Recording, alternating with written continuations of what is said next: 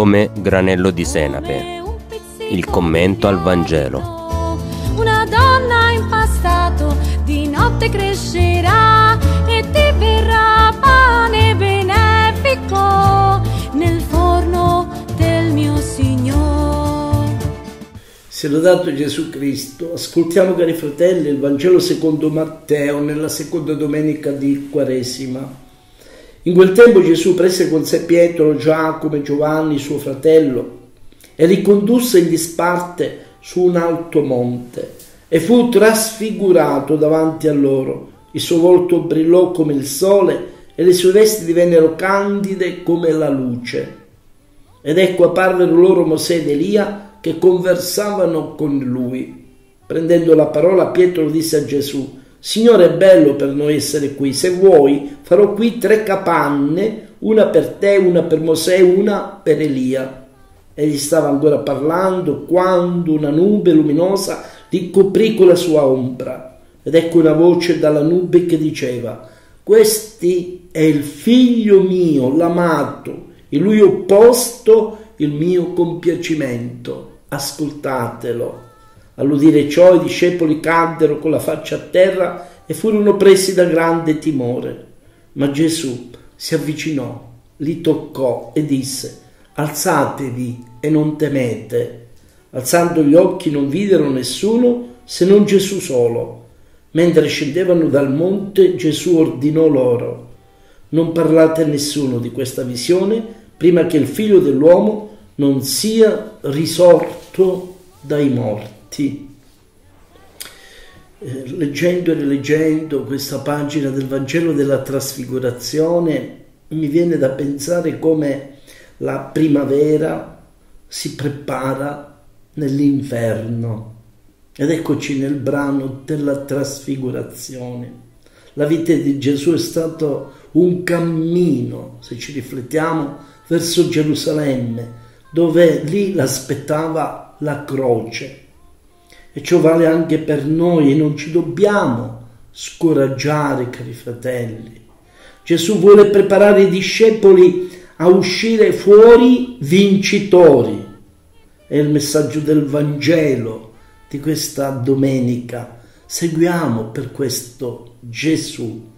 Gesù porta questi tre apostoli, Pietro, Giacomo e Giovanni, nella solitudine di un monte li lascia eh, fare ad ammirare, ma lì Gesù eh, lascia sprigionare eh, quello che direi è la sua divinità, che è il futuro del mondo, il futuro dell'uomo.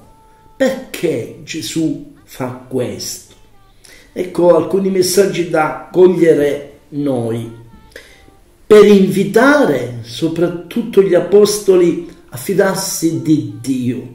Per questo Gesù si trasfigura.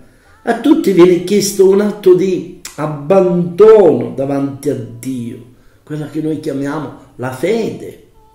E fu chiesto ad Abramo quanto lasciò la sua terra e poi, se ci ricordiamo, quando si mise in viaggio Viene chiesto anche a noi che siamo in viaggio verso l'eternità. Noi spesso pretendiamo di capire e di sapere tutto, arrivando anche a fare a meno di Dio, ma abbiamo bisogno di umiltà.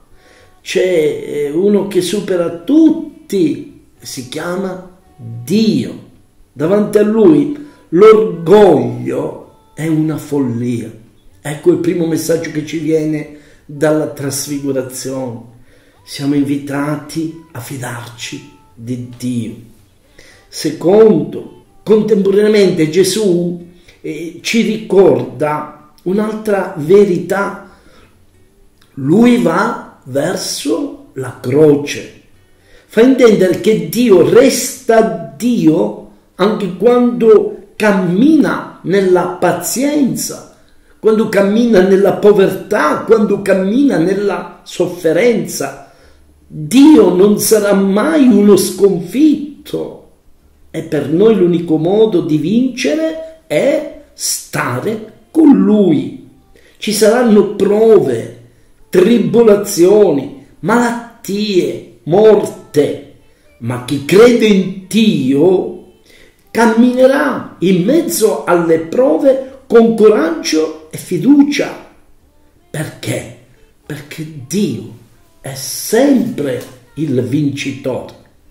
C'è un terzo messaggio che ci viene da questo brano evangelico della trasfigurazione, un richiamo alla vita eterna.